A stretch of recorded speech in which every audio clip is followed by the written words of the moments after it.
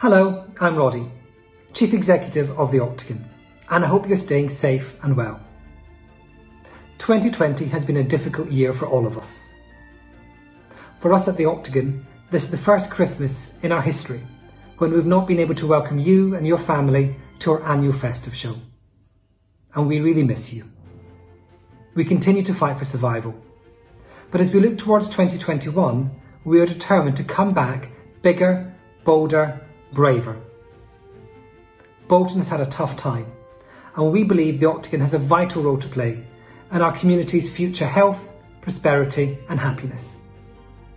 So please consider supporting your local theatre by joining as a member, attending one of our special online festive events, or buying a gift voucher for you and your loved ones to look forward to time together at the Octagon soon.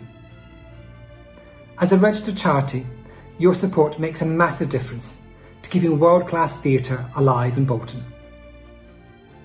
On behalf of everyone at the Octagon, we wish you the warmest festive greetings.